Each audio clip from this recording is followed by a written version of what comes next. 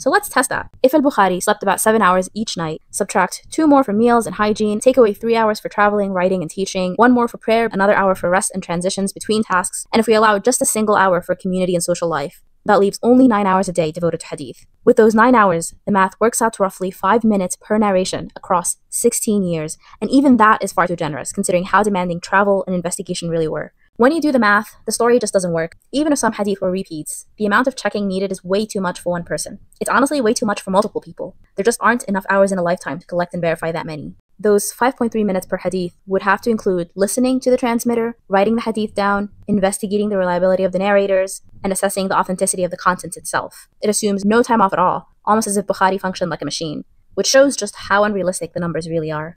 Even repeated hadith narrations take time to assess. Every chain of transmission still has to be read, every narrator still has to be evaluated, every content line has to be noted, every report has to be cross checked, and then another one. It's just impossible.